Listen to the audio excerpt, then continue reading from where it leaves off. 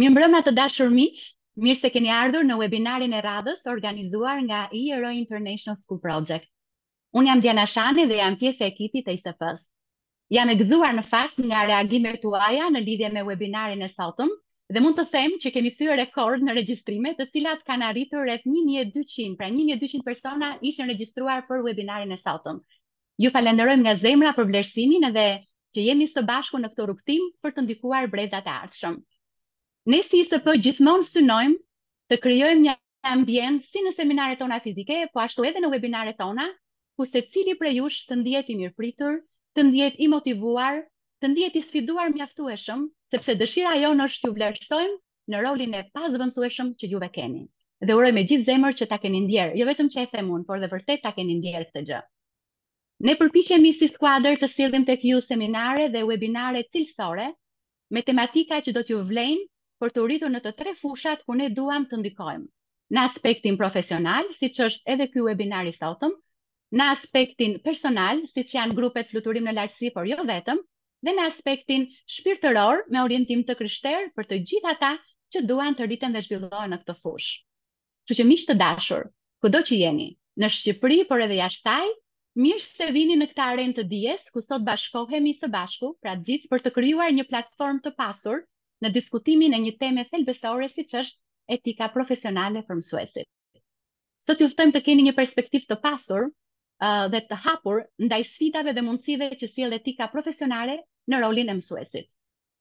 Ky webinar është një mundësi unike për të rritur vetëdijen tuaj dhe për të zhvilluar aftësitë që do të ndikojnë drejtpërsëdrejti në trajnimin dhe formimin e nxënësve. Le të bëhemi pjesë e këtij udhëtimi drejt një arsimi më të mirë dhe një shoqërie më etike. Faleminderit nga zemra që jeni këtu. Përpara se të fillojmë me webinarin e sotëm, unë kam disa lajmërime të rëndësishme për të bërë. Së pari në lidhje me kohëzgjatjen e webinarit. Webinari do të zgjatë rreth një orë, por le të themi me pak hir, ndoshta edhe një orë e dhjetë minuta, pasi lektorja jonë ka shumë për të thënë sot. Së dyti, dua t'ju them që duam ta bëjmë këtë kohë sa më të vlefshme për të gjithë ju, sa më të frytshme. Kështu që në fund të webinarit, kur folësja të ketë mbaruar me prezantimin, do të ofrojmë një kohë pyetje-përgjigje. kështu që ju lutem të shkruani në chatin tuaj disa nga pyetjet që ju ngrihen ndërkohë që juve dëgjoni për tematikën e sotme. Do të përpiqemi në bazë të kohës që kemi të përgjigjemi disa prej tyre. Për pjesëmarrjen tuaj në këtë webinar, ju do të pajiseni me një certifikatë digjitale e cila do të vijë menjëherë në emailin tuaj pasi ju të keni plotësuar të dhënat e sakta, emër, mbiemër dhe të gjitha që ju kërkohen, ju lutem që t'i plotësoni sa më saktë në mënyrë që mos kemi probleme në dërgimin e emailit të certifikatës në emailin tuaj. Mirë, tani ka ardhur momenti për të prezantuar temën edhe folësen tonë. Nuk kam shumë për të thënë për temën, sepse e thamë pak më sipër që tema e webinarit të sotëm do të jetë etika profesionale. Webinari i sotëm do të mbulojë aspekte të rëndësishme, të tilla si të kuptuarit e bazave të etikës, rëndësinë e një kodi etik dhe se si këto parime ndërthuren me jetën tuaj personale dhe profesionale. Por le të njihemi pak më shumë me lektoren tonë. Ajo është profesore e asociuar, Artemisi Dono Shehu, Dono Shehu, më falni, është psikologe klinike dhe psikoterapiste. Ajo është pedagoge prej njëzet e tre vitesh në Departamentin e Psikologjisë pranë Fakultetit të Shkencave Sociale. Ajo lektron lëndët e psikologjisë anormale dhe të psikopatologjisë së zhvillimit në programet e cikleve të baçelorit në psikologji dhe masterit shkencor klinik edhe shkollor. Artemisi është autore e disa librave akademike të fushës së psikologjisë klinike dhe shëndetit mendor, si Psikologjia anormale dhe Psikopatologjia e zhvillimit. Ajo është studiuese dhe kërkuese e fushës së klinikës dhe të shëndetit mendor, duke u përfaqësuar me shumë studime dhe artikuj në revista të fushës së saj, pra në konferenca shkencore kombëtare edhe ndërkombëtare. Që prej vitit dy mijë e shtatë, Artemisi punon gjithashtu si psikoterapiste dhe këshilluese klinike pranë Qendrës Analitika me raste të adoleshentëve dhe adultëve me problematika të ankthit, të depresionit dhe problematika të moshës. Është trajnere dhe eksperte e fushës duke bashkëpunuar në shumë projekte të organizatave OJF në vendin tonë. Ajo është e martuar me Andonin dhe ka dy fëmijë të mrekullueshëm siç janë Inesi, njëzet vjeç, dhe Danieli 14. Kështu që le ta mirëpresim nëse do ta kishim në sallë, në një seminar fizik do të thosha le ta mirëpresim me një duartrokitje, në rastin tonë do të do të thosha le ta mirëpresim me një mendje të hapur dhe të dëgjojmë nga Artemisi. Artemisi, të kam në linjë? Dena, përshëndetje, përshëndetje të gjithëve. Përshëndetje, uh, jemi të privilegjuar në fakt që të kemi sot dhe të falenderoj në emër të skuadrës së ISP-së, që pavarësisht angazhimeve të shumta ke zgjedhur që ta kalosh këto me mësuesit tanë. Dhe sa herë madje që i flas dikujt për ty, fjalia që vijon është sa njeri i mirë dhe me integritet që është. Kështu që radha është e jotja dhe mezi po presim të dëgjojmë prej teje. Falenderoj. Dena të falenderoj, falenderoj gjithë skuadrën, falenderoj uh, gjithë ekipin tuaj, po mbi të gjitha përshëndes fort edhe fuqishëm edhe gjithë grupin e madh të mësuesve, të cilët janë sot këtu dhe janë bërë pjesë e këtij grupi të madh pikërisht për të vijuar me temën e sotme. Në fakt kur mu prezantua kjo temë, ishte unë po bëj një një share screen, kam përshtypjen që jam ok, nuk e nuk e di se si se si shkon pjesa teknike, më tepër jam tek të qenit trajner dhe të përgatiturit e leksioneve sesa me pjesën teknike, ndoshta do të më kërkojë një çikë, më jepni një ok nëse un jam duke duke ju jeni duke parë uh, uh, screenin tim, uh, ekranin tim, uh, kam përshtypjen që po. Atëherë, kur uh, skuadra e institutit mua më dha disa tema, Tema në fakt e etikës profesionale dhe rëndësisë së saj në misionin e mësuesit dhe mësimdhënësit ishte një temë të cilën unë e kam pasur shumë për zemër. Në fakt që nga viti i tretë i imi i studimeve të të psikologjisë. Kjo për arsyen se mbaj mend në psikologjinë e edukimit, kur që ne kemi bërë në vitin e tretë me profesoreshë Milika Dhamon, na bëri na bënte përshtypje, më bënte shumë përshtypje fakti se çfarë uh, si duhet të jem, si duhet të jetë një psikolog, si duhet të jetë një pedagog, si duhet të jetë një mësues. Dhe më bënte përshtypje shumë pjesa e çfarë uh, roli ka një i rritur për të qenë model për një pjesë të konsiderueshme të personave në familjen e vogël ku është rritur, që ka krijuar, po njëkohësisht edhe në klasën që i është dedikuar për të mësuar, për të ndarë, për të lekturuar, mbi të gjitha për të udhëhequr. Dhe mendoj që etika profesionale dhe rëndësia e saj në misionin e mësuesit është një nga temat më të veçanta do të thoja dhe jo vetëm do të thoja që është nga më të veçantat, por nuk i humbet asnjëherë, asnjëherë koha. Ndaj, edhe edhe pa humbur kohë, e di që kemi një, një minutazh, le të themi të kronometruar, unë do doja që sot të diskutonim në këtë diskutimin e, e, e kësaj ore të diskutonim disa çështje. Janë shumë në fakt, por gjithsesi unë do të theksoja që disa prej tyre janë të vlefshme dhe besoj do të na dalë koha për t'i për t'i diskutuar. Është një temë që neve mund të qëndronim sigurisht me orë të tëra për të për të folur. Uh, ne sot do të flasim për etikën profesionale, do të flasim për vlerat edhe për formimin e tyre, Do të flasim për vlerat personale dhe imazhin për veten, sepse këto janë shumë të rëndësishme për të për t'i për ta krijuar veten tonë aktuale, po mbi të gjitha dhe veten tonë vizionare dhe mbi të gjitha vlerat profesionale, misionin e mësuesit dhe se si lidhet etika me secilin prej nesh. mbi të gjitha, do doja të ndalesha në fundin e e minutazhit të sotëm edhe në disa çështje dhe dilema etike sepse janë uh, jashtëzakonisht shumë të rëndësishme për të menduar që uh, ne të gjithë gjendemi nëpër udhkryqe. Jo vetëm që kur dalim nga shtëpia, jo, madje madje edhe brenda shtëpisë, korridori është një udhkryq, po mbi të gjitha edhe ë ë le të themi rrethrrotullimi më i parë në cilin neve gjendemi, ë janë udhkryqe, të cilat neve i hasim në mënyrë të vazhdueshme në jetën tonë të përditshme. Ndaj unë do doja të flisnim pra pikërisht për këtë, për të ndarë disa elementë. Fillimisht do doja që të ndalesha pak në një përkufizim shumë të vogël se çfarë është etika. Artemisi, a mund, më fal që të ndërpres, a mund ta bësh pak share në ekran të madh PowerPoint-in sepse nuk dallohet shumë, e ke në e ke të zvogëluar, nëse mund ta po. bësh pak më të hapur.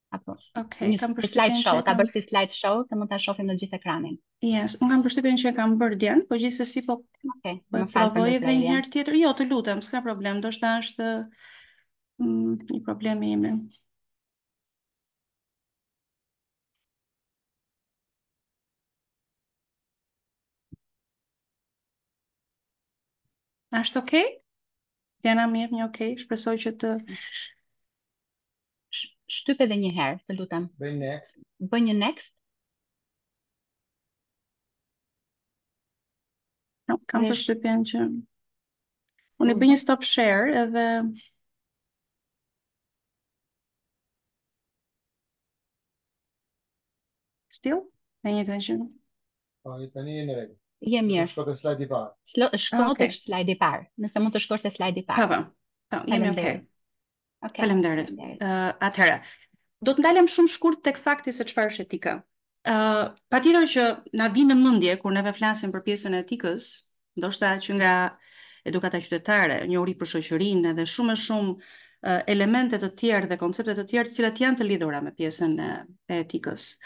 Ë, uh, Por, duke u referuar pak edhe pjesës edhe teorike, edhe për të qenë shumë në rregull me protokollet e termit dhe konceptit etik, unë do t'i referohesha që etika në fakt lidhet me filozofinë dhe është një degë e filozofisë sepse merret me studimin e vlerave morale dhe të sjelljes etike të individëve. Ndërkohë që nga ana tjetër ajo përfshin vlerat tona, përfshin normat, përfshin parimet, përfshin mbi të gjitha se çfarë është e drejtë dhe e gabuar në sjelljen njerëzore. Dhe ne të gjithë në një moment të caktuar të rritjeve tona, patjetër që neve kemi uh, diskutuar dhe ngritur pyetje se çfarë është e drejtë. Kjo një, është një gjë e drejtë dhe kjo është një gjë e padrejtë. E bërë kundrejt nesh, por mbi të gjitha edhe neve na është thënë me sjelljen që neve mund të kemi uh, reflektuar apo, apo sjellë. Dhe duke u ndalur pak te përbërësit e etikës, unë do t'i referohesha uh, katër elementëve kryesorë. Domethënë, duke parë pjesën e etikës në aspektin e çfarë e përbën dhe nga cilat janë katër shtyllat ku përmbahet etika dhe ku qëndron etika janë vlerat, elementi i parë janë vlerat, të cilat i referohen bindjeve ose marrëdhënieve të të secilit prej nesh ndaj çështjeve thelbësore të jetës, janë normat, kolona e dytë ose shtylla e dytë i referohet normave tona, të cilat janë normat të cilat neve i referohemi dhe rregullave që i referohemi mbi parimet se si neve do të sillemi dhe që përcaktojnë se çfarë është e pranueshme dhe e papranueshme në kontekstet dhe në shoqërinë ku ne jetojmë, Së treti, kolona e tretë është ka të bëjë me përgjegjës, me, me përgjegjshmërinë të qenit i përgjegjshëm dhe përgjegjës dhe është nga kolonat më të forta dhe më, le të themi dhe më delikate. Ë a mbajmë neve dhe ka të bëjë pikërisht me këtë gjë, a mbajmë neve përgjegjësi për sjelljet tona, për fjalët tona dhe për veprimet tona dhe si e tillë, si një pjesë përbërëse e etikës, në fakt neve na duhet që të jemi të vetëdijshëm për pasojat e veprimeve tona, qofshin këto me fjalë, po qofshin këto edhe me me gjeste. Dhe së katërti, shtylla e katërt dhe po ashtu e rëndësishme, unë do të thosha që është arsyeja edhe reflektimi, që do të thotë në kuadrin e etikës, Pikërisht kjo kolonë inkurajon aftësinë e secilit prej nesh për të reflektuar mbi mbi veprimet edhe edhe vendimet tona. Çfarë neve do të ndërmarrim për hapin e radhës? Duke pasur parasysh këto ë le të themi katër elementë të rëndësishëm të etikës, unë do të theksoja që nuk mund të ë ë t'i largohem shumë misionit edhe vlerave të ë secilit prej jush, po duke përfshirë këtu dhe edhe veten time. Kur unë kam qenë në vitin e katërt në fakultet, me thënë të drejtën nuk kam dashur që të bëhesha një mësimdhënëse. Sepse mendoja që ishte shumë përgjegjësi. Dhe përveç se ishte shumë përgjegjësi kundrejt brezave, kundrejt një auditori të vogël apo të madh, por edhe për të thënë që patjetër që ti duhet të jesh një hap më përpara të paktën nga atyre të cilëve ti do t'i lektrosh dhe do t'i japësh, do t'i japësh mësim, kam hezituar shumë në moshën time uh, 22 vjeçare, isha atëherë. Dhe më pas kur uh, unë uh, u bëra pedagoge, kur uh, fillova të lektroj si pedagoge e brendshme në Fakultetin e Shkencave Sociale në shtator të vitit 2000, ë uh, mendoj se isha shumë e vogël edhe shumë e re në sensin e të kuptuarit të misionit edhe të të çfarë vlere do të kisha unë në atë auditor të vogël, të mesëm apo të madh në madhësi dhe se çfarë do të bëja. Dhe gjithë ky rrugëtim njëzet e tre vjeçar i imi, sigurisht është relativisht sfidues edhe edhe i gjatë në kohë, ku jam hasur shumë herë nga eksperienca ime me misionin e jo vetëm me misionin tim, jo vetëm me qëllimin dhe misionin tim, po mbi të gjitha edhe me vlerat e mia. jam goditur shpesh herë, jam përballur shpesh herë, jam pikëpyetur shpesh herë me vlerat e mia personale, po njëkohësisht edhe me vlerat e mia profesionale. Sepse këto të dyja janë si dy shinat e trenit, të cilat ne nuk mund t'i ndajmë dot nga njëri tjetri. Dhe ë uh, misioni dhe vlera jonë janë të lidhura, mësues të dashur me uh, vizionin tonë për veten, Dhe me vlerën time personale, duke folur në vetën e parë ndoshta për secilin prej jush, në një kontekst të vogël qofshim, në atë klasën tonë të vogël me një numër të kufizuar dhe të vogël nxënësish, po mbi të gjitha flas edhe për klasat që janë të mbipopulluara, me një numër mbi tridhjetë apo mbi tridhjetë e pesë nxënës. dhe vizioni, misioni dhe vlera jonë individuale e secilit prej nesh në këtë kontekst të vogël apo të madh është e një, do thosha e një fuqie me një potencial nëse do t'i referoheshim matematikës në fuqi të n-të, në fuqi jo të parë dhe të dytë, por në fuqi të n-të. Herë pas here përgjatë lektrimit të sotëm unë kam zgjedhur edhe ndonjë kuotë, ndonjë thënie të autorëve të të famshëm, të cilët kanë bërë sigurisht rrugë dhe kanë hapur dritare në mendjet e secilit prej nesh. Ku qëllimi i edukimit, përderisa ne jemi në të njëjtën varkë të gjithë, është shpeshherë jo të transmetojmë vetëm dije, pra, dhe fakte, dhe njohuri, edhe shkencë, edhe edhe çfarë ka thënë një kërkim dhe se çfarë ka realizuar një teori dhe një kërkim tjetër, por në fakt, qëllimi jonë në pjesën e misionit tonë, le të mos harrojmë që është edhe pjesa e vlerave. Duke u rikthyer prap vitit tim të tretë të fakultetit, i referohem çështjes që në fund fare, nëse unë kam prodhuar nga klasa e vogël, e mesme apo e madhja ime, një grup me persona të cilët do të ishin shumë më qytetarë, unë kam bërë shumë më tepër se sa ë ë ë do të realizoja vetëm një klasë ku nxënësit e mi ose studentët e mi do të merrnin vetëm dhjeta. por do të harronin pjesën e vlerave të ekzistencës së tyre personale për t'i formësuar pastaj edhe në aspektin profesional, sigurisht si qytetarë të ardhshëm të një shoqërie në një komunitet apo në një komunitet më të madh. Është shumë e vërtetë, kam përshtypjen që një nga arsyet e interesit edhe të ë kësaj teme sot lidhet në fakt me me çështjen që sa herë që neve hapim televizorin, Sa herë që hapim median, Instagramin apo çfarëdo lloj rrjeti social në të cilën ju jeni pjesëmarrës, ë edhe e, e përdorni, e aplikoni, kam përshtypjen që neve përballemi me dilema etike nga më të mëdhajat ku të quajturit se çfarë është normale dhe çfarë është anormale, se çfarë është etike dhe çfarë nuk është etike, në ditët e sotme po diskutohet gjithnjë e më tepër, ku ndoshta neve mund të surprizohemi nga të tjerët, të cilët thonë që kjo është etike apo kjo nuk është etike ose ky kjo sjellje e jotja brenda një konteksti etike të përdorshëm deri në atë moment mund të dali totalisht jashtë mode. Por le të mos harrojmë që në fund fare, pavarësisht se ne jemi në vitin 2023 dhe shpeshherë pyetja është ku po shkon kjo botë, edhe në aspektin e etikës, të respektimit të etikës, apo edhe të normave dhe vlerave sepse që janë të rëndësishme që neve të jetojmë në një kontekst ku të respektohemi në mënyrë të ndërsjelltë, ë në fakt tronditen dhe jo vetëm tronditen, po janë tërmete të vazhdueshme të, të ekzistencës sonë. Prandaj duke u referuar sjelljeve të të rasteve nga më të ndryshme, të sjella në emisione apo të në media, po njëkohësisht edhe të shpërndara përmes rrjeteve të ndryshme sociale ne dhe habitemi dhe dhe shokohemi me çfarë po ndodh me vlerat, çfarë po ndodh me parimet morale të shoqërisë, po njëkohësisht i referohemi njëkohësisht edhe vetes. Dhe kjo gjë shpeshherë nuk është uh, shumë larg nesh në kontinentin tjetër, nuk është në në shtetin tjetër, por është shumë afër nesh. Le të mos harrojmë të dashur mësues që etika personale dhe njëkohësisht profesionale është e lidhur absolutisht në fund fare të çdo lloj kulture që mund të ndryshojë apo dhe kohe që mund të përparojë.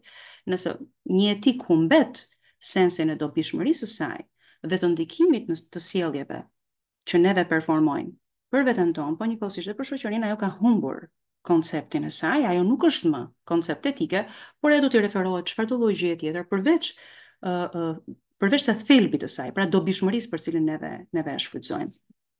Dhe nëse do të doja të shtroja një dy pyetje për secilin prej jush, Do të referohesha për shembull edhe faktit se çfarë janë vlerat, pavarësisht se unë e, e, e theksova edhe pak më lart, por e, e, apo se, si do t'i përkufizonim ne ato dhe a mund të mendojmë, të fillojmë të mendojmë pak për konceptin e vlerave tona personale, kjo është e rëndësishme pikërisht për të kuptuar paksa ë çështjen se nga nga fillon formimi i etikës tonë.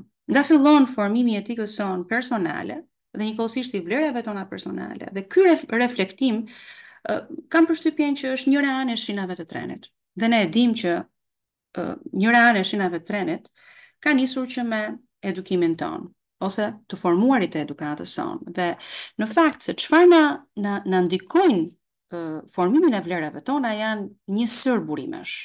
Janë një sërë elementesh që neve na na na e ndikojnë. Duke u referuar sigurisht vlerave dhe në, në përkufizimin e tyre, do të thoshim që vlerat janë besime ose janë ideale, me cilat neve përpiqemi, pra vizore matëse, që neve përpiqemi për t'vlerësuar situatat, njerëzit, kolegët, gjërat rreth nesh, veprimet apo dhe shumë e shumë ngjarje të tjera. Dhe që vlerat na përcaktojnë pastaj se çfarë është e mirë apo e keqe, e dëshirueshme dhe e padëshirueshme. Diana qëpari kur më prezantonte tha, nëse e mbajtët mend, që Unë lektroj një lëndë që quhet psikologjia anormale dhe çdo vit që e lektroj, se çfarë është normale dhe anormale, studentët më japin pafundësisht sjellje që thonë, jo, kjo s'është e drejtë, jo, kjo s'është normale, jo, kjo është normale. Ajo që është quajtur përpara 5 viteve anormale, tashmë nuk quhet më normale. Dhe neve përballemi me dilema nga më të ndryshme. Pra çfarë është e mirë, dhe çfarë është e keqe, çfarë është e dëshirueshme dhe çfarë është e padëshirueshme. Dhe me këtë ne arrijmë të kuptojmë që vlerat e, e secilit prej nesh janë duke, duke u testuar vazhdimisht. Herë pas herë. Nga ana tjetër, vlerat personale edhe vlerat të cilat kanë të bëjnë me formësimin tonë ekzistencial, mësues të dashur janë shumë të lidhur me imazhin tonë për veten. Dhe nëse unë do t'ju bëja nja dy pyetje të tjera që lidhet me faktin se si e cilësoni ju veten tuaj. në aspektin karakterial të personalitetit, po njëkohësisht dhe në aspektin tuaj profesional. Pra duke iu referuar pikërisht dy imazheve që janë shumë të rëndësishme si imazhi i vetes personale, po njëkohësisht dhe imazhi i vetes tuaj profesionale, nëse do t'ju lija shumë pak sekonda për të menduar pikërisht për të krijuar këtë lloj imazhi, sepse ne nuk mund t'i ndajmë dot veç e veç, janë të dyja. Pra po të shikoni, ne tani na formësohet, na formohet një uh, mjet, automjet, tren, që ecën mbi dy shina. Njëra prej të cilave është sigurisht imazhi i vetes sonë personale dhe së dyti është imazhi i vetes sonë profesionale. Ë uh, dhe të dyja këto janë të pandashme nga njëra-tjetra janë pjesë e jona, nëse ne do të thoshim që njëra është e majta dhe tjetra është e djathta, si të doni, edhe këtë mund ta mund t'ia mund ta mund t'i referohemi edhe në këtë lloj mënyre, por duke reflektuar pak mbi cilësimin e vetes tuaj personale dhe profesionale, sigurisht juve krijoni, arrini të krijoni një një ide për për veten tonë, për imazhin tonë për veten. Dhe kjo është shumë i rëndësishëm. Dhe sinonime të këtyre dy të mësipërmve që diskutova janë edhe termi vetëvlerësim, si e vetëvlerësojmë ne veten, si është koncepti jonë për veten, si është imazhi jonë për veten, sa është efikasiteti jonë për veten. Dhe në në krijimin e këtij imazhi me vlerat respektive, Në këtë proces na e ndikojnë shumë figurat autoritare, prindërit tanë, gjyshërit tanë, apo edhe personazhe të tjera që kanë qenë pjesë e rritjes sonë. E ndikojnë patjetër familjarët, e ndikojnë e ndikojnë mësuesit tanë, e ndikojnë shefat tanë, e ndikojnë traumat tona të të kaluarës. Dhe të gjitha këto janë pjesë e një vazhde te proceset ku neve shpesherë gjendemi pikërisht në udhëkryqet e formimit të vlerësimit tonë për veten, e imazhit tonë, po njëkohësisht edhe si individ, edhe si qenie, si pjesë e një shoqërie, po njëkohësisht edhe në aspektin e imazhit tonë profesional, në ambientet ku neve punojmë, në ambientet ku edukojmë, po njëkohësisht edhe ku ne bashkëpunojmë dhe bashkëveprojmë edhe me kolegët tanë.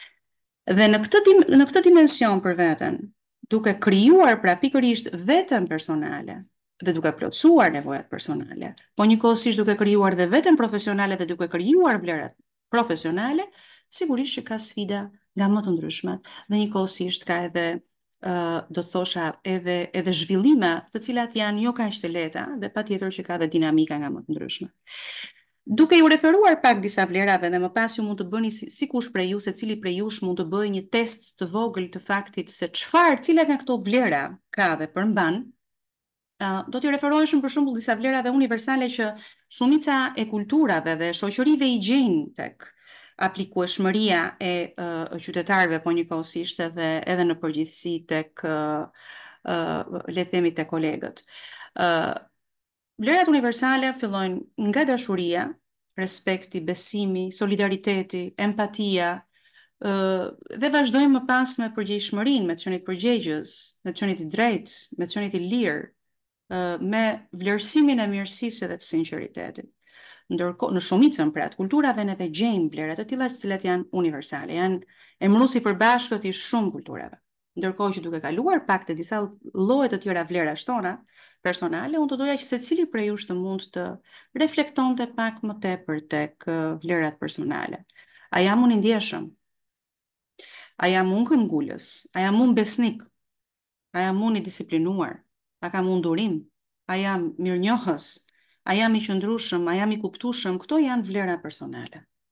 Dhe në shumicën më të madhe të rasteve, vlerat personale krijohen nga një përzierje e vlerave universale që si përmendëm, po njëkohësisht dhe vlerave familjare dhe më pas atyre individuale, të cilat kryesisht në moshën e adoleshencës marrin një pjekuri dhe një maturi më të madhe. Ndërkohë që neve kemi dhe vlera familjare, të cilat janë të lidhura me respektin për të moshuarit kryesisht dhe që janë përcjellë nga njëri brez tek brezi tjetër, nga njëra le të themi nga një nga një fis, farefis në një farefis tjetër dhe që janë të lidhur kryesisht me respektin pra për të moshuarit, me mirësinë, me sinqeritetin, me solidaritetin, me ndihmën, që edhe në kulturën tonë ne i vëmë re dhe i kemi promovuar vlerat familjare. ndërkohë që vlerat e tjera që janë po pjesë e gjithë qenies dhe ekzistencës sonë lidhen me vlerat sociokulturore, patriotizmi për shembull, ne na kanë uh, le të themi mburur shumë me pjesën e bujarisë që e shikoni në për thonjëza, por uh, kam përshtypjen që ndryshimet shumë heterogjene të lëvizjeve të popullatës ndoshta dhe mund të na e kenë pakur pak këto vitet e fundit folur kjo me kolegë të mi të sociologjisë, pra uh, vlerën e bujarisë dhe njëkohësisht të mikpritjes. Vlerat morale, të cilat janë kanë të bëjnë me respektin për të tjerët, me tolerancën, me besnikërinë, me sinqeritetin, vlera shpirtërore, besimi fetar, apo harmonia, apo vlera intelektuale që kanë të bëjnë me urtësinë edhe të lexuarit dhe uh, kuriozitetin e kështu me radhë. Që do të thotë, nëse ne do të kishim një puzzle të vogël përpara veteve, për të krijuar pikërisht dhe për të marrë nga secila nga këto lloj vlerash që unë sipërpërmenda, ato që janë më pikantet për ju, ato që janë më përfaqësueset për ju. Unë nuk e di se si do dilte puzzle-i i secilit prej jush. Se cilat vlera do të dominonin më së shumti në vlerat tuaja uh, personale, të cilat janë shumë të rëndësishme. Jemi akoma tek njëra anë e uh, shinave. Ndërkohë që ana tjetër e shinave janë vlerat profesionale. Një tren dhe një makinë nuk mund të ecë dot vetëm me rrotat e majta dhe vetëm ose vetëm me rrotat e djathta. Sigurisht që do të ecte duke pasur të dy anët e rrotave për të pasur një lloj ekuilibri për shkak të forcës së rëndesës dhe për shkak të mos kthyerjes përmbys, gjë e cila do të na do të na vendoste shumë pastaj në konflikt me veten tonë. Duke iu referuar pak më tepër vlerave profesionale, vini re që disa janë, un kam shkruar disa, janë shumë, janë janë zakonisht shumë, por në shumicën më të madhe të rasteve, në shumicën e konteksteve profesionale neve gjejmë besnikërinë, përgjegjësinë të qenit përgjegjshëm apo të qenit krijues, aq sa neve mund të na e lejojë sigurisht konteksti dhe lloji i punës që neve uh, gjithsecili prej nesh ka. Dhe duke mos harruar që ne këtu jemi në një varkë të gjithë bashkë, jemi duke iu referuar misionit të mësuesit edhe pedagogjisë. Dhe si të tillë, patjetër që ne jemi edukator, ne jemi dhe pedagog, të gjithë ne. Do përmend vetëm dy statuse të vogla të dy kokave botërore, të Dalai Lamës edhe të Martin Luther Kingut, që i referohemi që misioni i arsimit, misioni jonë, të qenët ne këtu, mbasi kemi përcaktuar vlerat tona individuale dhe personale, të qenët mësues, neve na, na, na vendos pastaj që të dimë një çikë cilat janë vlerat tona si mësues. në atë klasën tonë të vogël, të mesme apo të madhe.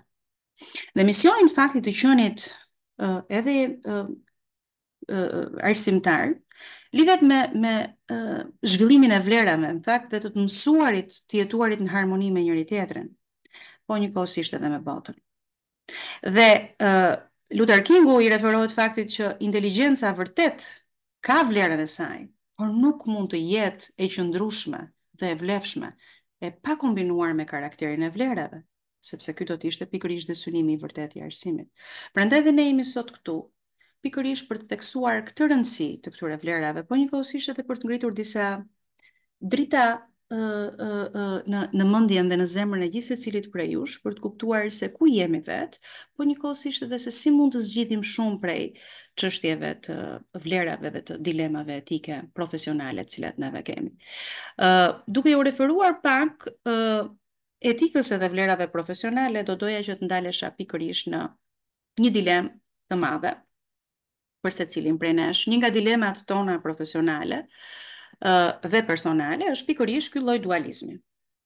Nëse vlerat e mia personale a kanë një lloj përputhshmërie me vlerat e mia personale, nëse nuk do të kishin vlerat e mia personale një përputhshmëri me vlerat e mia profesionale, këtu do të na lindte një konflikt jo i vogël, po do të na lindte një konflikt relativisht shumë i madh. Uh, ne të gjithë kemi pasur një rrugëtim, kam përshtypjen kush është mësues i ri, është një mësues me një uh, kohëzgjatje të mesme për sa i përket uh, uh, eksperiencës në fushën e mësimdhënies, patjetër që është hasur në fillimet e veta, me shumë nga dilemat e ndara të etikës personale dhe të etikës profesionale. Unë personalisht flas për veten time, po jam jam gjendur në situata jo të lehta ku ndoshta ndonjëri nga eprorët e mi më ka kërkuar për të bërë diçka, unë kam qenë në vitin e parë apo në vitin e dytë të të punës time, të lektrimit si pedagoge e brendshme në në fakultet. Dhe në një situatë të tillë sigurisht unë jam vendosur në dilema jo të vogla, në sensin që çfarë kë duhet të respektoj tani? a do të respektoj një etikë dhe vlerën time personale dhe se çfarë ndodh me etikën profesionale. Patjetër në të dyja këto uh, kontekste, ka vështirësi dhe ka dilema jo të vogla në të dyja situatat. Dhe besoj se secili prej jush mund të jepte të njëjtin uh, eksperiencë ose të përafërt të përngjashme me këtë që unë sipër përmenda. Dhe duke u referuar pak karakteristikave të etikës profesionale, pra ne kemi një vlerë dhe kemi një etikë personale, por kemi njëkohësisht dhe një etikë profesionale. Dhe në përgjithësi, etika profesionale ka këto tre karakteristika, ka faktin që është një zgjatim i moralit, që do të thotë patjetër bën pjesë në etikën profesionale dhe vlerat tona personale. Është drejtësi morale e çdo profesioni, në çdo profesion ne kemi një urdhër, në çdo profesion kryesisht kemi një kod etike të cilin neve e respektojmë dhe njëkohësisht neve kemi pasqyrimin, pra si karakteristikë e tretë e etikës profesionale lidhet me pasqyrimin e qëllimeve dhe vlerave për secilin profesion, se çdo profesion patjetër që përmbahet me uh, vlerat dhe normat e, e ushtërimit të tij. Duke kaluar pastaj pak tek një emërës i përbashkët i kësaj etike në shkollë, në kontekstin e të qenit mësimdhënës, kam përshtypjen që shumica e, e studimeve, po njëkohësisht edhe e, e teorive dhe e kërkimeve, rrahin në këto pika të përbashkëta, që në një etikë në shkollë neve patjetër, gjithsecili prej nesh duhet të ketë integritet dhe të jetë i besueshëm.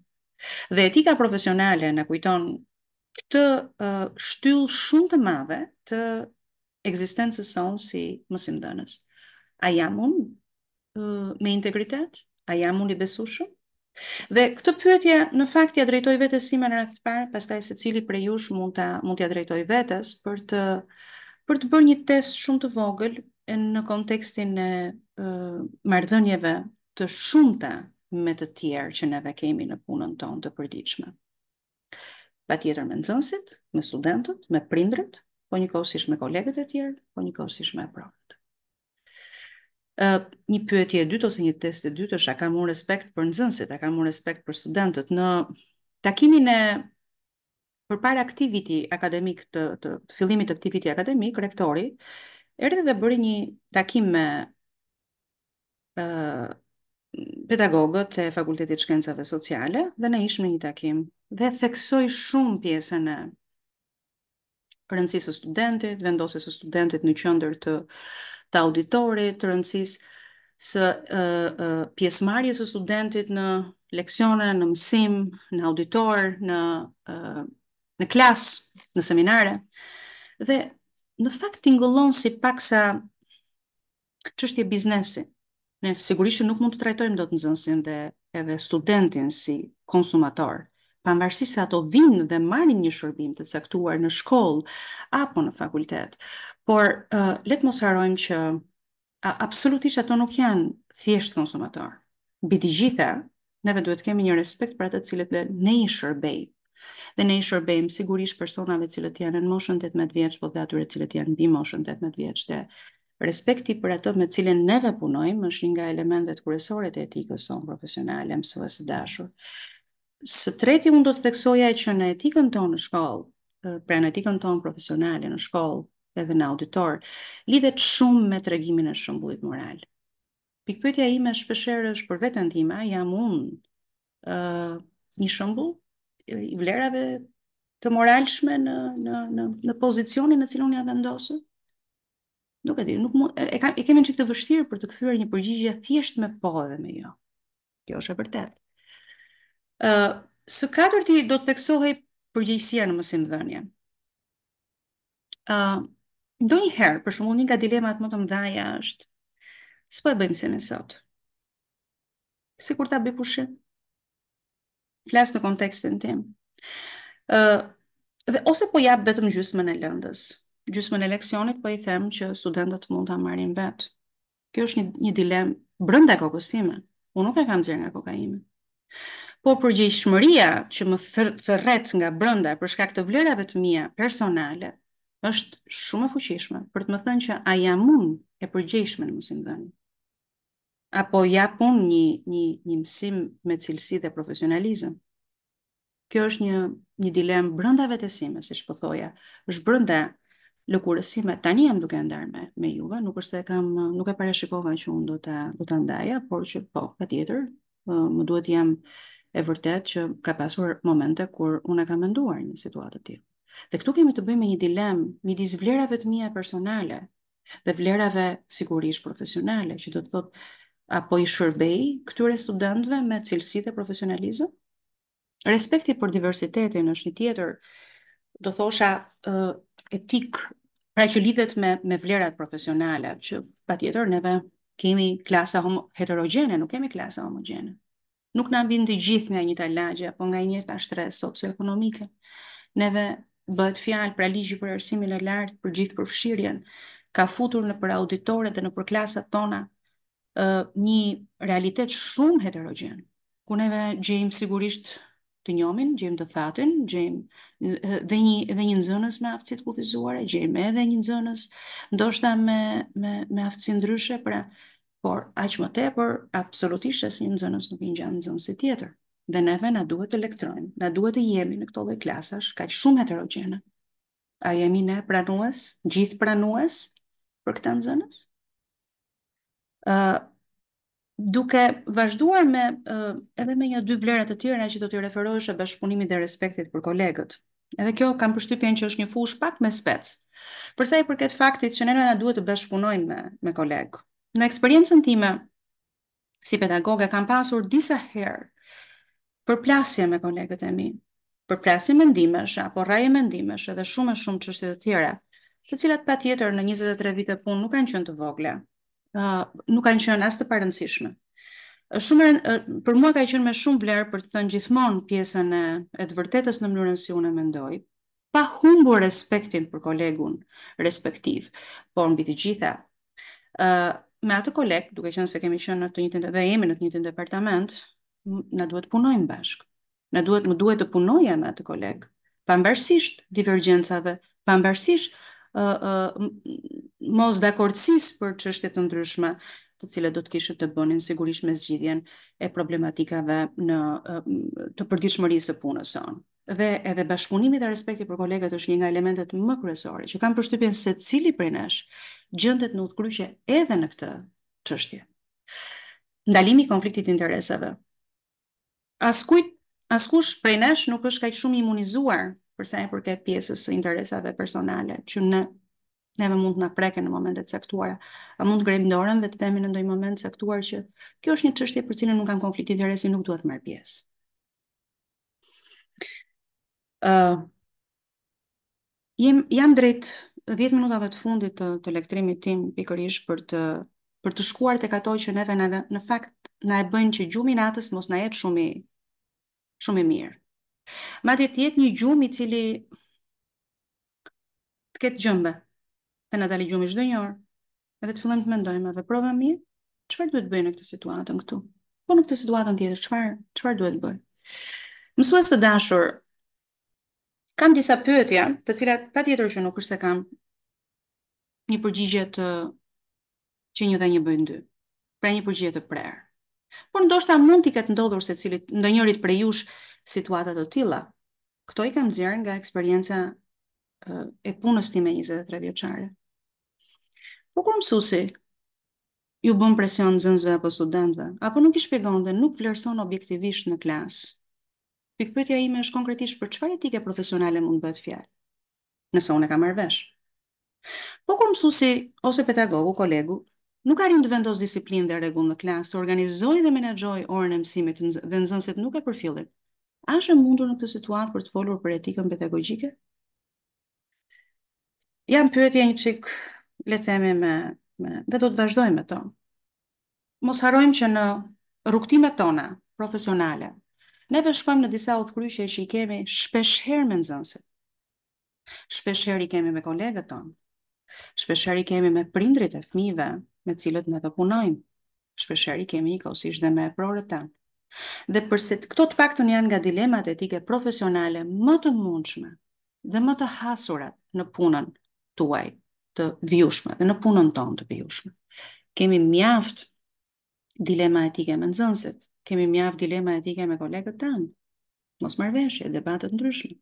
Kemi me prindrit e fëmijëve tanë, po i kemi njëkohësisht edhe me eprorët. Uh, nëse sërish vazhdoj me, me një listë jo të vogël të situatave të ndodhura, uh, në, siç po thosha në eksperiencën time. Kolegu im që mund të ketë konsumuar alkool dhe ka ardhur i dehur në mësim, unë e marr vesh dhe çfarë bëj? Mbyll një sy, mbyll një vesh, edhe nuk i them askujt dhe e toleroj këtë gjë. A është kjo një dilemë e cila bie ndesh me vlerat e mia personale dhe bie ndesh edhe me vlerat e mia profesionale? Kur vjen një nxënës dhe më ankohet për një mësues, për një kolegun tim, të cilin ndoshta unë nuk e kam shumë preferencë në aspektin e vlerave të mia personale, nuk ndaj të njëjtat mendime me të, çfarë bëj unë? E inkurajoj gjithnjë e më tepër nxënësin për të sharë kolegun tim ose për të ofenduar kolegun tim? Kolegë të cilët neve mund të na ushtrojnë një lloj presioni, jo të vogël për sa i përket, për sa i përket dhënies së një teze provimi për shembull. Kolegë që ju luten që një nxënës ta justifikoni për shembull për mungesat, për hir të një bashkëpunimi ose interesi që ky i fundit mund të ketë, apo miq që na telefonojnë për nota apo ndere. Kam përshtypjen që ne të gjithë jemi në këtë në këtë varg. Unë të gjitha këto që kam nxjerrë, kam nxjerrë nga siç po thosha nga nga eksperienca ime dhe janë vërtet të, të mm, jetuara. Ndërkohë që nëse do t'i referoheshim disa nga dilemave më të vogla mes kolegëve me njëri tjetrin, është a jemi konkurrentë apo jemi bashkëpunues me kolegët. Është një pyetje shumë e vështirë sepse ne si qenie njerëzore përpiqemi për shkak të egoizmit tonë të shkojmë gjithmonë drejt faktit që të të pasjes ne të drejtë apo të rënies ne në sy. Ndërkohë që Kjo është një kjo është një ekuilibër një çik i vështirë për t'u mbajtur midis konkurrencës dhe bashkëpunimit. Dhe pse vlera jonë në fakt e etikës tonë profesionale kishte të bënte me çfarë si mund të jemi ne bashkëpunus. Nëse neve e shohim këtë dilem, duke anuar nga pjesa e konkurrencës, kam përshtypjen që neve do të humbasim dhe do të do të humbim mbi të gjitha misionin për të cilin neve neve po luftojmë dhe vizionin tonë të krijimit të vetes sonë personale dhe njëkohësisht profesionale. Ndihma dhe mbështetja e kolegëve. Dhe po ashtu kjo është një tjetër dilemë që mësues dashur neve e hasim me kolegët tanë. A duhet kërkoj ndihmë një kolegu? Po nëse një koleg më kërkon ndihmë mua, edhe nëse mua nuk më pëlqen do t'ja jap. Ndërkohë që ndarja e informacionit po përzgjedh një tjetër dilemë etike që është jo e vogël. Një tjetër dilemë etike që ka të bëjë me ndarjen e informacionit për sa i përket, pra mund të diskutojmë me kolegët për sa i përket disa informacioneve të cilat janë pak konfidenciale për sa i përket nxënësve, për sa i përket prindërve apo për sa i përket kolegëve të tjerë në kontekstin profesional, në kontekstin e institucionit të shkollës. Dhe kjo është një dilemë jo e vogël se çfarë bëjmë Ne kemi dilema, mësues të dashur, edhe me eprorët tanë. Në çfarëdo lloj pozicioni qofshin, qofshim ne si mësues, drejtor, nëndrejtor, apo në pozicione të tjera në në institucionet ku neve japim mësim edhe edhe edukojmë. Patjetër që një nga dilemat më të mëdha është a po më ikën autonomia e mësuesit edhe e drejtorit? Ne kemi frikë për këtë gjë. Megjithatë unë do të thosha që në çfarëdo lloj dileme të tillë, lidhur me eprorët apo lidhur edhe me veten tonë, ë uh, keni parasysh mësues të dashur që frika se mos na humbet autonomia duhet vijë gjithmonë më pas qëllimit dhe misionit tonë, se për çfarë neve jemi dhe sepse për çfarë neve po e kërkojmë, atë që neve po kërkojmë dhe nuk po na jepet. Ë do të do t'i referohesha edhe njëkohësisht edhe një elementi tjetër për shembull, një nga dilemat e tjera që juve mund të keni nëpër mjediset tuaja të shkollës mund të jetë edhe se si ndahen mjetet shkollore. Se kush mbahet me hatër apo kush kush mbahet me më shumë apo kush mbahet me më pak hatër. se si mund t'i ndajmë në një mënyrë të barabartë mjetet shkollore apo çfarë neve kemi nevojë për të përdorur për të rritur cilësinë e uh, materialeve dhe uh, mësimit tonë. Neve kemi dilema me eprorët dhe përsa i përket pjesës së, sa transparent dhe sa të komunikushëm jemi neve. Uh, të dashur prindër, neve mund të kemi shumë dilema edhe me prindrit. Me prindrit e fëmijëve, me prindrit e nxënësve. sepse shpeshherë ndër dilemat më të hasura dhe më frekuente mund të jenë si po vlerësoj unë një nxënës dhe një prind sigurisht vjen dhe më kërkon llogari ose më kërkon të drejtën ndoshta edhe për të kuptuar se si unë kam vlerësuar fëmijën e tij ose të saj deri tek fakti që nëse neve kemi disa informacione për të tjerë persona, për të tjerë kolegë dhe neve mund të kemi një miqësi me njërin prind dhe ndajmë ë uh, uh, le të themi të dhëna apo informacione për kolegun tonë me prindin. Këtu ka një pikëpyetje shumë të madhe se çfarë jemi duke bërë. Ë ë mbi të gjitha neve kemi shumë dilema edhe me nxënësit në mënyrën se si sillen ata me ne, po mbi të gjitha dhe në dilema se si sillen, si sillemi ne me nxënësit. Në përmbyllje të gjithë këtyre dilemave, të cilat secila prej tyre, patjetër secila prej tyre do të kërkonte një kohë të posaçme për t'u për t'u ndalur edhe për t'u për t'u përgjigjur. Unë do të theksoja që patjetër që në pyetjet tua, në në në në kokat tuaja të dashur mësues, ndoshta juve jeni duke duke thënë po na jep një përgjigje për këtë pjesë. Rendite disa dilema, disa dilema të cilat i referoheshin uh, dilemave me me veten, dilemave me nxënësit, dilemave me kolegët, me eprorët apo dhe me prindrit e nxënësve. Çfarë do? Si do mund t'i zgjidhim këto? Ë, uh, në fakt gishtin do doja ta ktheja nga vetja ime. Edhe do ftoja secilin që neve ta, ta kthejmë gishtin nga vetja jonë, për të, për të reflektuar pak mbi vlerat edhe detyrat tona. Nëse neve jemi duke uh, pasur një lloj përputhshmërie të vlerave tona edhe detyrave tona në këtë pozicion ku jemi, pra në këtë mision të mësimdhënësit. Njëkohësisht dhe duke iu referuar ndërtimit të vetes sonë personale dhe profesionale, është shumë e rëndësishme se a mund t'i identifikojmë vlerat edhe detyrat tona etike? Në momentin kur përgjigja do të ishte po, kam përshtypjen do të ishte shumë herë më e lehtë edhe zgjidhja e një çështje të tillë. Ë këshilla ime e dytë është Nëse ne jemi në shpeshherë në udhëkryqe, në dilema dhe nuk na zë gjumi natën, a kemi mundësi që të kërkojmë këshillë nga kolegët të cilët mund të jenë më me eksperiencë, edhe njëkohësisht nga ndonjë supervizor ose nga ndonjë terapist apo nga ndonjë person i cili do të ishte këshilluesi jonë? E kemi të nevojshme këtë gjë. Nevoja për të kërkuar ndihmë mësues të dashur është kam përshtypjen jo vetëm humane dhe njerëzore, por mbi të gjitha nuk tregon vulnerabilitetin edhe ë ë ë brishtësinë e dikujt. Përkundrazi un kam përshtypjen që kërko, tregon një vlerë shumë të madhe të atij personi në aspektin e vlerave personale, pikërisht për të thënë që unë dua ta zgjidh këtë problem dhe ky nuk është një problem i cili zgjidhet duke mohuar vlerat e mia personale dhe vlerat e mia personale, pra dhe, dhe profesionale, por duhet zgjidhur duke kërkuar ndihmë. Ndaj kërkoni ndihmë mësues të dashur sepse aty ku ju dhe sigurisht keni besim për të kërkuar ndihmë se si mund të zgjidhet një çështje e ë ë e tillë dilematike etike. Së treti unë do të theksoja çfarë vlerash ka shkolla juaj? Cila cili është kodi profesional i shkollës suaj? Kemi uh, uh, treshin uh, treshin dhe katrën, po të shikoni tek ekrane. Pra, neve na duhet që t'i referohemi sigurisht, a jemi, a jemi në rregull me faktin që dikush tjetër ose dhe ne vetë jemi duke thyer disa rregulla të kodit etik profesional. ë Dhe një nga këshillat që unë e dua fort është të biseduarit hapur dhe drejt për drejt.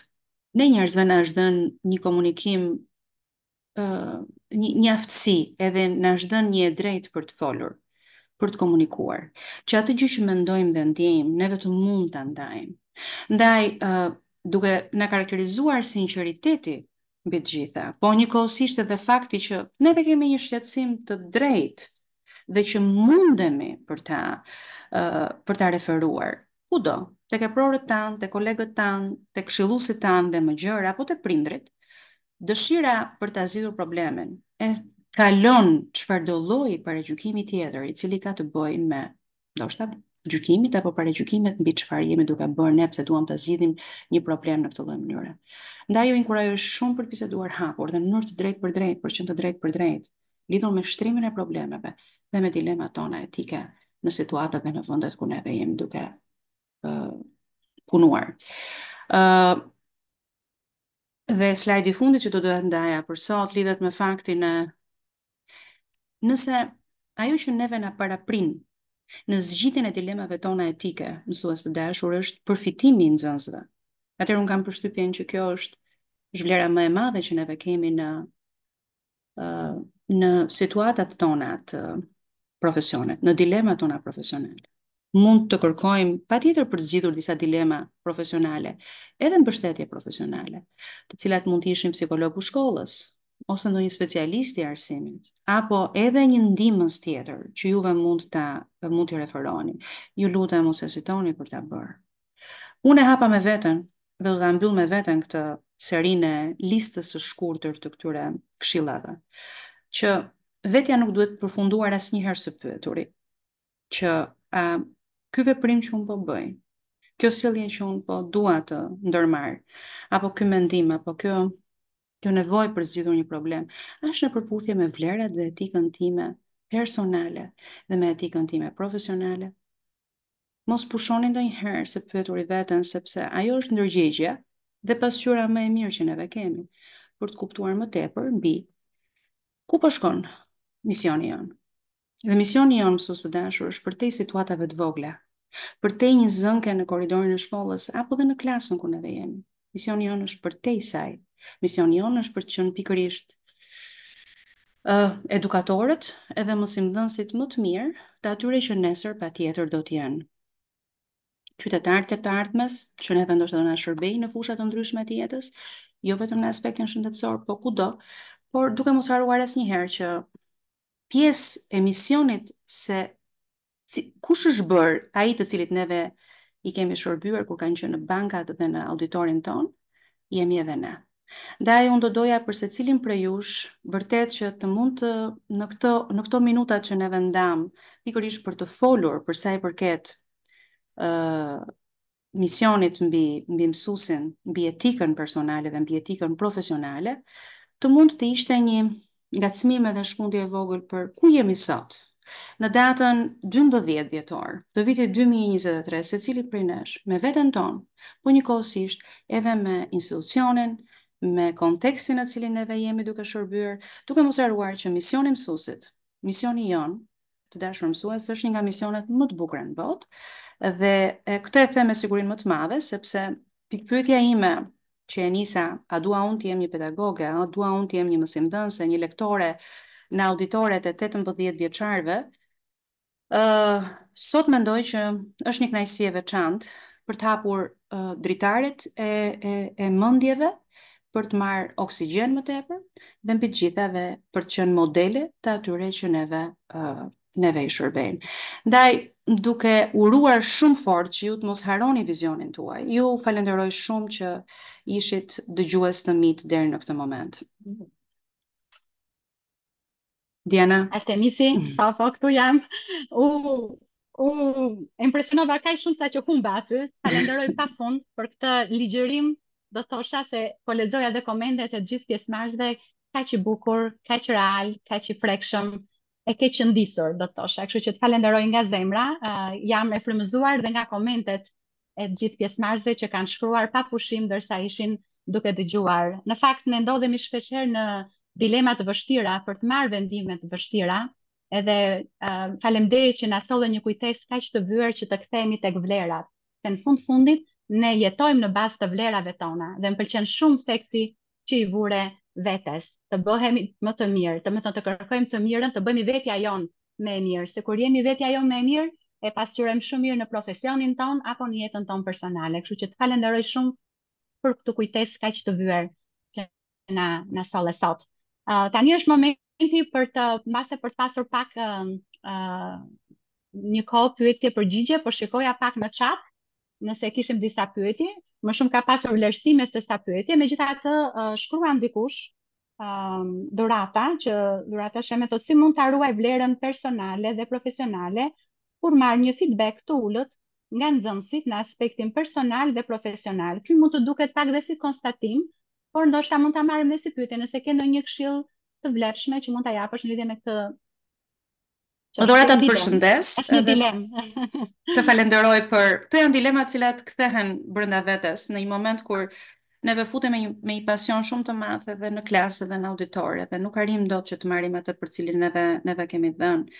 Dhe unë jam ndier shpesh herë si Dhurata ku uh, ndoshta ka pasur auditore dhe klasa të cilat nuk kanë qenë aq shumë fitimprurëse ose për ata vetë, po mbi të gjitha edhe edhe për ne, sepse neve si mësues na duhet ose të paktën do donim që të merrnim një lloj feedbacku pozitiv për sa i përket pjesës që çfarë kemi mbjellë, a mund të korrim diçka uh, pozitive.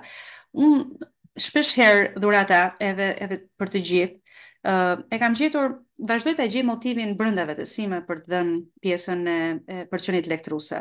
Asnjëherë nuk do të vija, nuk të sugjeroj që të vësh në, në dilemë, uh, le themi vlerat personale, sepse vlerat personale patjetër që janë të rëndësishme dhe ne, ne mund na vendosen në, në dilemë, por uh, shpesh herë ka qenë brezi pasardhës, Ai i cili në fakt më ka treguar totalisht të kundërtën, më ka treguar që unë duhet vazhdoj të jem, pavarësisht se këtë vit ose me këtë auditor ose me këtë klasë unë nuk po marr atë lloj rezultati për të cilin unë do të doja shumë që të merrja. Kjo ishte këshilla e parë, ndërkohë që këshilla e dytë që unë do të theksoja është nuk mendoj që neve kemi gjithmonë gjëra negative. qoftë edhe në breza dhe në klasat ku neve mund të mendojmë që mund të kemi korrur pak.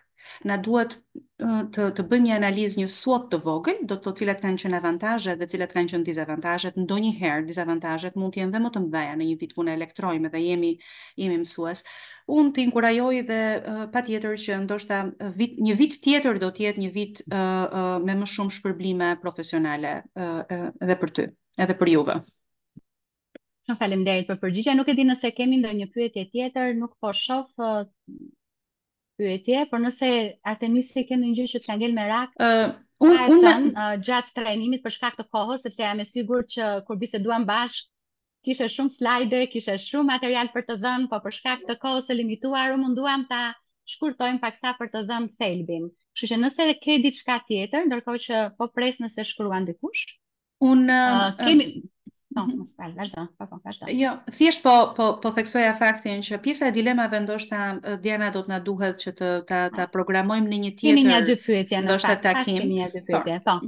Ë, sot si mund të nxit nxënësit hiperaktiv të marrin pjesë në orën mësimore? Nuk e di nëse ka lidhje me Ëm, unë unë do theksoja që hiperaktiviteti është një nga çështjet e shumë klasave, sidomos të arsimit fillor, po jo vetëm të arsimit fillor, besoj edhe të arsimit të, të mesëm.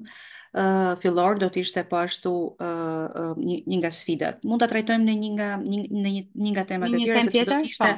Ishte shumë e gjatë, po, po. por nga çfarë mund të them vetëm një përgjigje shumë të shkurtër. Më fal që të ndërpres sepse lidhet me këtë dhe pyetja e Valbonës. Kjo ishte Xheni që ka bërë pyetjen, Xheni Tafa, po është dhe Valbona Soxhuku që thotë cilat janë dilemat e mësimdhën e mësimdhënies, e mësimdhënësit me nxënësit me probleme të shëndetit mendor. Pra, lidhen pak hiperaktiviteti, pastaj pjesa e shëndetit mendor, domethënë janë të dyja pyetje që edhe mund të lidhen njëra tjetrën. Nëse uh, ke një përgjigje të shkurtër. Menaxhimi, menaxhimi i nxënësve, të paktën me nevoja të veçanta, ku futet edhe edhe hiperaktiviteti do të ishte patjetër pjesë uh, e përgjegjësisë së mësuesit. Uh, dhe gjëja patjetër që kjo kërkon një trajnim të gjatë ose kërkon trajnime të gjata, në fakt gjata, dhe unë do të thosha gjithmonë do të të lutem, ju lutem mësues të dashur, bashkëpunoni me mbi të gjitha me psikologun e shkollës, me mësuesin ndihmës, po njëkohësisht edhe me prindin respektiv, sepse realizimi i duhur i planit PEI, pra planit edukativ individual për nxënësit me nevoja të veçanta, do të ishte i domosdoshëm për të mos mbajtur një përgjegjësi shumë personale vetëm për këtë, sepse arritjet ose mosarritjet e një nxënësi, me një nevojë të caktuar të veçantë nuk mund të varen dot vetëm prej jush, varen prej një grupi aktorësh.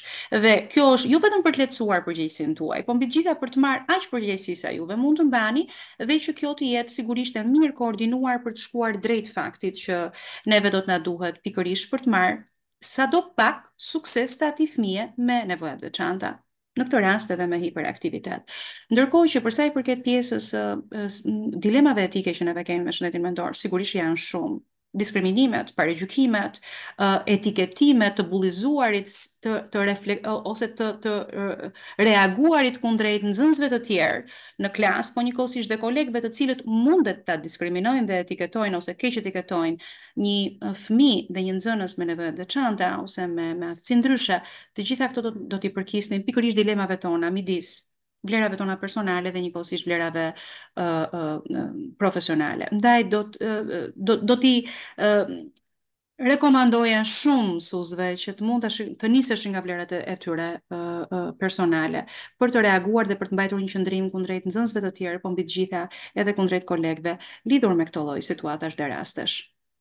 Shumë faleminderit. Edhe një pyetje ndoshta të fundit, në fakt juve e trajtuat çështjen e marrëdhënies me kolegët, si mund të përgjigjemi, kemi jam e sigurt që në çdo ambient pune, jo vetëm midis mësuesve, por në çdo ambient pune ka aty dilema të shumta për sa i përket marrëdhënieve midis kolegëve. Diku shkruan Ermelinda Zaini thotë që si mund ta ndihmoj një koleg, nëse unë ndaj dhe ndihmoj thotë, por dëgjoj gjykime jo pozitive ndaj ndihmës së dhënë. Pra, domethënë, e bën një lloj sjell një lloj situate të vogël që e pra ka dhënë një ndihmë, por është gjykuar e, jo pozitivisht dhe si mund ta ndihmojë një koleg thotë në një situatë të tillë. Nëse unë do të kisha sugjeruar që nëse kolegu sërish kërkon ndihmë, patjetër që unë mendoj që e, e vlerëson mendimin edhe ndihmën e dhënë, por unë nuk e kam idenë nëse personi e ka e, e ka kundërshtuar në sy, pra nëse një koleg neve na kundërshton në sy për ndihmën që neve do t'i jepnim, kjo është akoma më e më e drejtë, le të themi dhe më më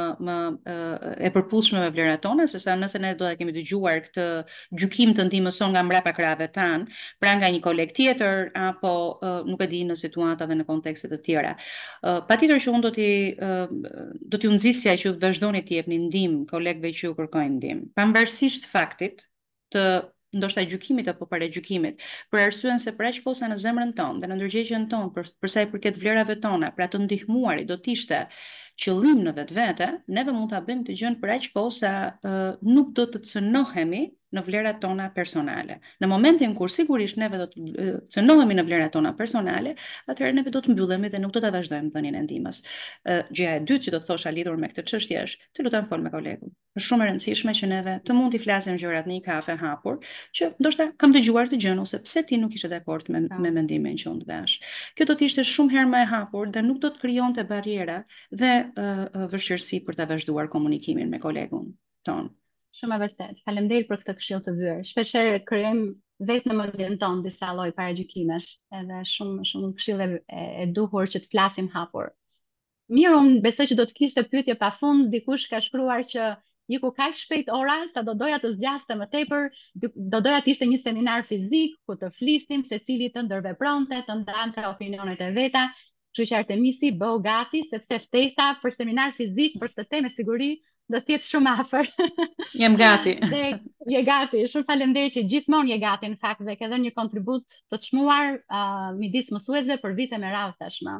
Në fakt, ka pasur pyetje të tipit që a mund të kemi materiale, por mbase mund të dërgojmë diçka të përmbledhur, megjithatë do dua ta them me zë, ju kam shkruar dhe disa juve personalisht, që këtë material që sapo dëgjuat ne e kemi regjistruar dhe së shpejti do t'ju japim linkun e YouTube-it, ku mund ta dëgjoni, ridëgjoni mesazhin dhe të merrni gjithçka që ju pëlqen dhe që mund ta aplikoni në jetën tuaj të përditshme aty në procesin tuaj mësimor. Kështu që të falenderoj shumë Artemisi, me gjithë zemër, për gjithçka ndave me ne, edhe të uroj shumë suksese në në punën, në karrierën tënde, në profesionin tënd të çmuar, që ashtu siç e shprehe që është një profesion shumë i çmuar dhe ashtu është vërtet, edhe në familjen tënde të bukur.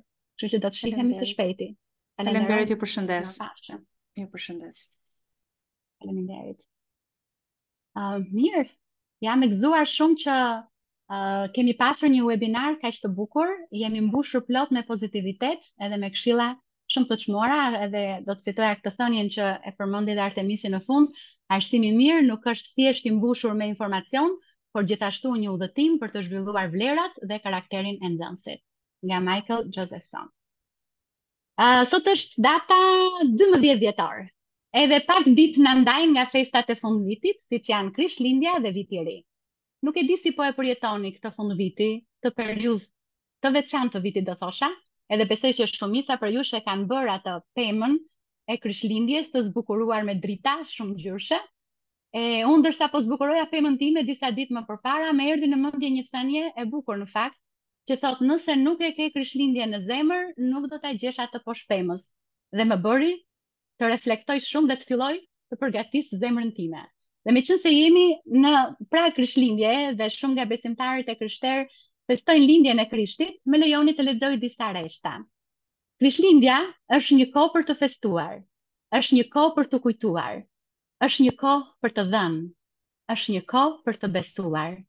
Krishtlindja është një kohë për familjen, një kohë për miqtë.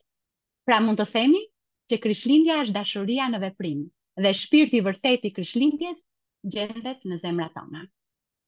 Kemi ardhur, siç mund ta kuptoni në fund të webinarit të sotëm, Por mos u largoni sepse së shpejti do të jetë momenti për të plotësuar fletëkomentin, do të dërgojmë linkun në chat. Ju lutem të plotësoni saktë të dhënat tuaja, sepse kjo do të na ndihmonte që emailet të vinë saktë edhe edhe certifikata gjithashtu në emailin tuaj. Gjithashtu nëse mund ta plotësoni vetëm një herë. Sot kemi folur për etikën profesionale, edhe më shumë se kurrë sot do ta plotësojmë vetëm një herë fletëkomentin.